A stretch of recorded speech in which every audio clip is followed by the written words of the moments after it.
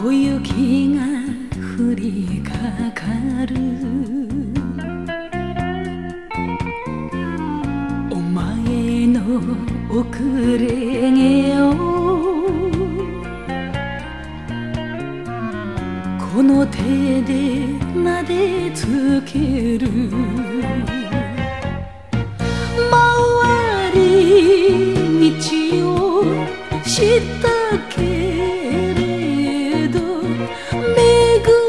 会えたらいいさいいさ遅れてやってきた。二人の春に乾杯を。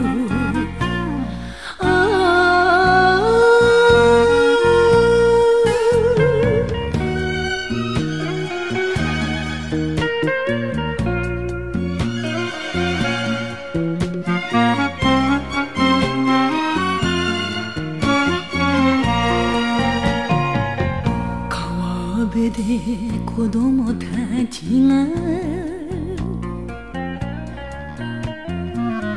無邪気に遊んでる。お前はそれを見てかすかに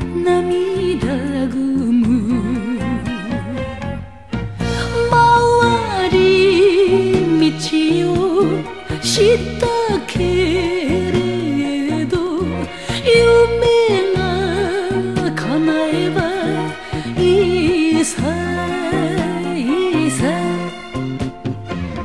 苦労の分だけはお前もな。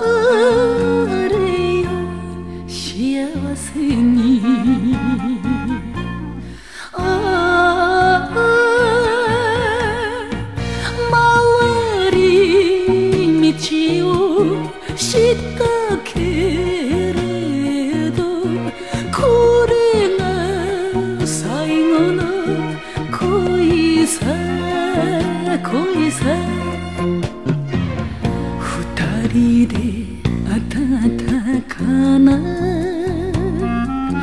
ねぐらをきっと作ろうよ